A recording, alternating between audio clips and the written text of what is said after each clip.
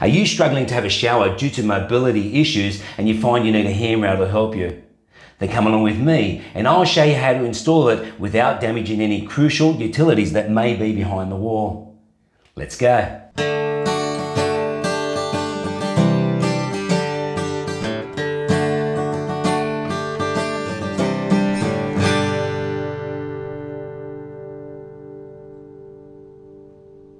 Hey guys, Musa here from Quantum Home Improvements and Solutions. Welcome back. And if this is your first time to our channel, it's great having you join us. And so today I'm with my friend Angela. Hey everyone. So Angela contacted me back only a few days ago, uh, and she said uh, that she's got uh, a problem, and I didn't know about it. Um, she actually had a fall, and uh, she broke her ankle and had to have it operated on. Um, and so she's been showering in her uh, shower chair um, but she needs now to uh, be more mobile. So she's got a boot on, and um, and we need to install a couple of these handrails. Um, so Angela, how do you feel now? A little bit of pain, but I'm okay. I'm getting around. Fantastic. So now with these handrails, Angela, I've just, just got to advise you um, that when you put them in, there are a lot of utilities behind here and uh, unfortunately it's very easy to damage them. So I know for a fact that there's a water pipe just here. How do I know that? Because I renovated this bathroom back in uh, 2016, I believe. And so, and that was a huge job. I mean, and boy, did he do a good job. Have a look at it. Thanks, Angela. Um, th this was a real issue because this was a two-way bathroom. There was a toilet here, yes. and all the utilities were on that side. So um, yeah, it was a big job actually. Uh, I took a lot of photos. I know exactly where all the studs are. okay. So we're going to have to find timbers. Now, the reason I'm saying that um, regardless of your size, I'm saying this very specifically, regardless of your size, I'm just over 80 kilos, which I think is about 180 pounds. Um, when you fall in a shower, and, and I have a spinal injury, and I have handrails in my showers. Now, when you fall in a shower from a distance, you have inertia. And so 80 kilo or just over when you go grab a handrail and fall, the amount of pressure that's on that, when you grab it, it's gonna put a lot of pressure. So now, if you just use plugs in the wall, it will come out. I'm almost sure of it, okay? Now, uh, you don't wanna tempt that. You wanna put these handrails in timber. So Angela, you ready? Let's go. Okay, so it was a bit tedious. I've taken all the measurements uh, on the other side of this wall and found where the studs are. So there is actually a noggin just running up to here. There's a stud running all the way up there. Uh, and then there's a piece, uh, sorry, then there's another stud that runs down from the middle of the niche, roughly down the middle, and runs that way. So what I'm gonna do is attach this railing basically to the stud here and to the timber that runs across this way. So that timber is running um, roughly at about this level here. So I'm gonna, so the timber's basically there and there. So I'm gonna run at that level uh, and just sit in there like that. So the grab rail I'm gonna be using is made by EveKare um, and it's a 600 millimeter wide. Um, so it's a really good product actually. I've looked at it pretty closely. Um, so they've got this section here, I'll just undo it. Held in by a brass uh, kind of a, a, a, nut. So this will be screwed at this position. So you can basically turn it around any position you want and you can go at any, any angle you want. So I actually like this, is really good. So I'll be putting the screws in one there and one there, but on the stud here, I'm gonna be putting uh, one there and one there. So I'll be going downwards uh, vertically and this one horizontally. I've recorded the measurements. I'm just gonna transfer them into the wall. So I know coming from this wall here, back this direction, uh, basically it's 480 millimeters. So 480 is basically about here. But we have to take in consideration, the other room is not tiled, this one is. Okay, so that's basically where the stud is, just here. Okay, so now this side. So I know when I built this, uh, this is actually currently uh, a meter and five mil, so it's just slightly over a meter. I know that the timbers uh, come up to about here somewhere, just roughly, because there's Villaboard in there and there's tile. So I'm just going to assume it's roughly about there. And again, I'm just going to go down 35 mil. I actually think I use 45 mil timbers, but I'm going to go 35 mil. Basically, that's there. I'll just place this back in so I can get a measurement. Okay, so now you need to measure from center to center. Now the instructions will probably tell you what size you need to make this. I'm actually just gonna measure it with my measuring tape. I go from the outside of the wheel to the outside of this wheel, and it is actually 523 mil. So if you put it to the center of the hole, to the center in here, it'll come out the exact same. Okay, now going from the center of the mark, which is just there, we're gonna go at 523. Basically, it's just 523 is just there. Okay, that's marked. Okay, so once again, I'll take this bracket off. I'll just set it in place roughly here. And as I said, that needs to be in the center so you can see the mark in the middle. That is pretty good. And we want the holes to be in the center. So we want it to hit the heart of the timber. So I'm basically just gonna mark those holes there like that. So now I'm gonna be using a drill bit. This is a spade drill bit made for tiles uh, and it'll go through the porcelain quite easily. So you've got to keep it pretty still and wherever your mark is, you've got to hit that mark exactly because there's like only one mil tolerance in this rail. Okay, so you can see there how it just drills through.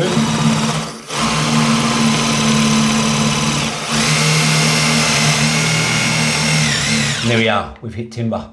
Now, there's a bit of an issue here. These screws aren't very long, but that's fine. So it's really important to tell you this. Do not over tighten your screws because you will crack your tile. So do not over tighten. No, not long enough. All right, so I had to grab another screw that's a bit longer. Oops.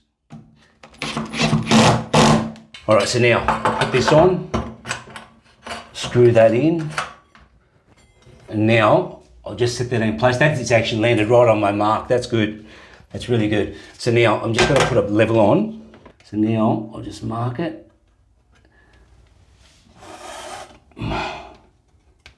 That's pretty good. I'm comfortable with that. So now I'll drill the next one. Now this is even more crucial. It's got to be spot on.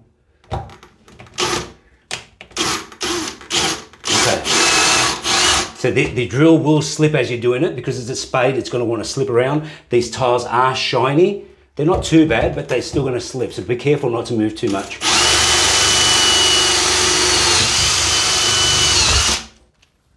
Okay, so I have just missed the timber. I've just discovered it's just there. So I missed off by a little, and that's how easy you can make a mistake. So now I'll just show you with the drill. If I put it on an angle like this, you can see I've got the timber. Now, so I might put that screw in, but for now, I'm actually going to drill holes that are on the left side. This, this device is so good because it's got holes all the way around, you can choose your holes, which is really, really good. It's a really good design. I will be filling these holes up with silicon. Uh, remember that these walls are waterproofed and I don't want to damage the waterproofing, so I'll fill them back up.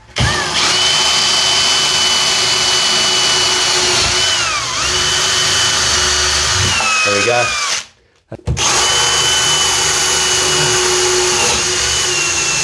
Beautiful. So now I'm gonna take this back off. Oh, okay. I'll just put that in place. Beautiful.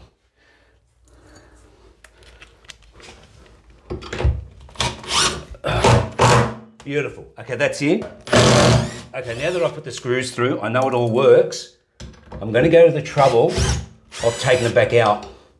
Okay, so now I've got some neutral cured silicon. I'm just gonna pump that in. Okay, so I've got a fair amount in that. I'm not gonna hold back. So now I'm gonna screw this back in, but this time with silicon in there.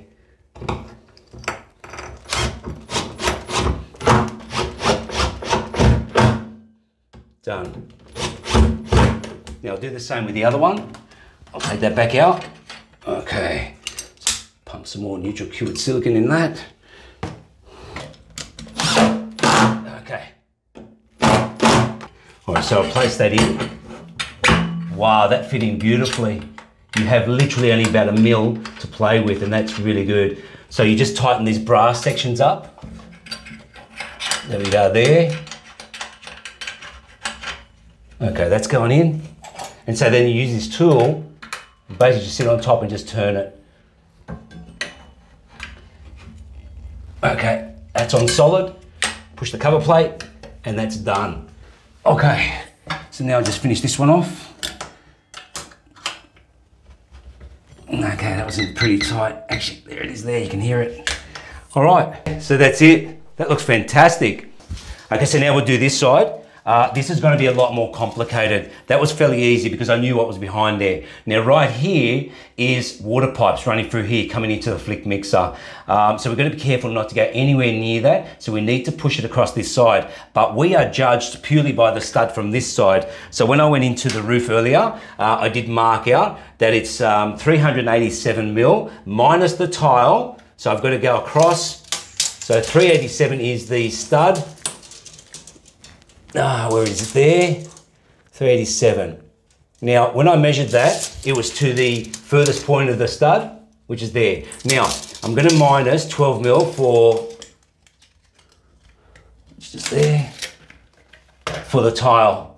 So basically, I believe it's there. Um, we know it's 523 across, so 523 center to center, 523, we're gonna make it beautifully going by the photo that I had of this room, 523, which is just there. Okay, so as I was saying earlier, we need to put this handle lower than the other one. So now we do have two issues here. I was hoping this wasn't gonna happen, but it has happened to me many times over the years when I was doing bathroom renovations. Now see, there is the, the grout joint. You should never ever drill next to the edge of a tile. You should come in at least 20 mil. So I'm gonna try to make this turn to sit into the grout joint. So I'll drill in the grout joint, not on the, the, the actual, um, on the tile itself. Okay, so there's a lot to know about this and hopefully this video will help you. Okay, I'll just put this out of the way. Beautiful. Angela, can I ask you if you can just check where's a safe, easy usable level for the flick mixer, for the handle? So you said about there? I reckon that's fine. Uh, let me see. The flick mixer still works. However, when that hangs down, is that gonna that's gonna hang out? In between, in between. Oh yeah, yeah, cool. Okay, so Andrew, if you're happy with that, I can probably get it to about 920. So a little bit higher than I thought. Okay, now Angela, this is going to come down. Yes. In here like that. Oh yeah, yeah, yeah. Is that okay? Yeah, absolutely. Okay. Beautiful. All right, leave it with me. All right. Uh, 920. So that's the center that we said there. Okay, so now we've got the mark. I believe it to be correct. So that's the center here and the holes are just above. Okay, so now I'll just drill that through.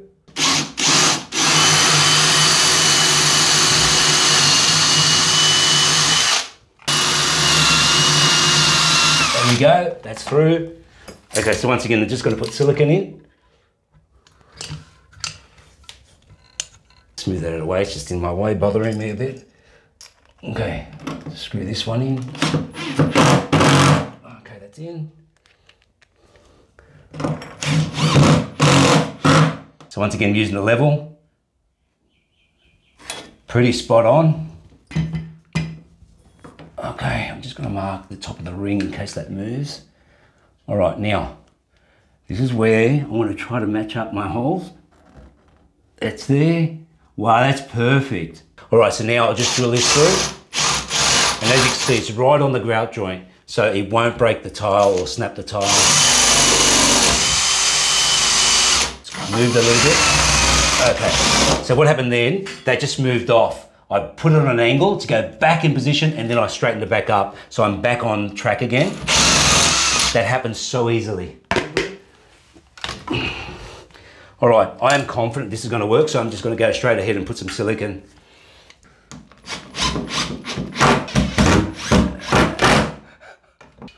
Okay, now we'll put this back on. Okay, so this is pretty easy, just like the last one, just close that off. Okay, that's that one. And come back to this one. That's it, it's done. As easy as that. This is beautiful. So Angela, what do you think? What do you think? I think. Have a look at it. Look what he's done. But can I ask, are they solid? Absolutely. Do you feel comfortable with this? Absolutely. Now, Angela, going by the instructions, there's a few things you need to know. It says that this bottom rail should not be used for any kind of support. So it's important to say that. That's just a uh, probably a tower rail or something. Um, so the handle is solid. I'd go- gone into timber. It also says the instructions do not uh, install unless it's in timber. It's Mm-hmm. obvious. Um, so, uh, but you really need to know that. Now, remembering I did put silicon inside the hole. So, 70% of waterproof bathrooms fail with their waterproofing uh, because of silly things. And so, you've got to be careful with waterproofing. You've got to make sure that you you cover it completely. Now, do you remember we had water issues when we first built this bathroom? Um, I had to redo under your house. I had to put new beams. Uh, there was a lot of wood rot, and uh, that was a big issue. And then we changed everything around. We had the plumber that came changed toilets, fittings around. Yeah. Um, we had a window here. Yeah. Um, yeah, it was, it was incredible. I get lots of compliments about the bathroom, the kitchen, and the laundry, which you Yeah, had major part in. yeah, yeah, yeah. Um, and I've loved it ever since. Once again, Mercy, you've weaved your magic and done a marvellous, marvellous job. No, you're welcome, feel very safe. You're welcome. Okay, so that's the end of this video. Hope you enjoyed it. Hope you got something out of it. And if you have any comments at all, please leave them below and I will get back to you. And I'd ask you, please consider to subscribe, hit the like button and share this video. And there's many more to come. Thanks, guys. Bye.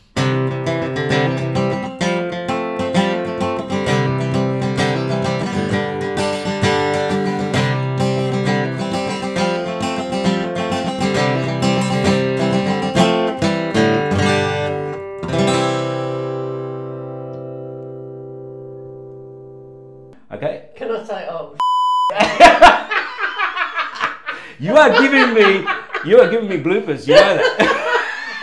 do you have a bloopers? Oh, I'm doing it. it's already done. You just did it. It's on there. And so today I'm with my friend Angela. Hello, everyone. How are you? I'm not They allowed can't to say how are you. They- Yeah, I'm good, thanks. and very hard to drill through. Now, this is not. mm.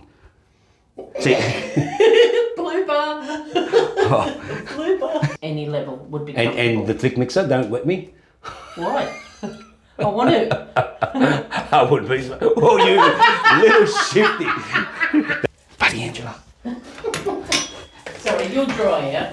You were a bit hot anyway. Yeah, I was actually. you shifty. That's through. So this is actually really easy to do. I've got to be honest. It's. Uh, I'm not sure why Angela called me. She could have done this during her lunch break. Oh no! Oh, stop it! Oh. All right, we're done.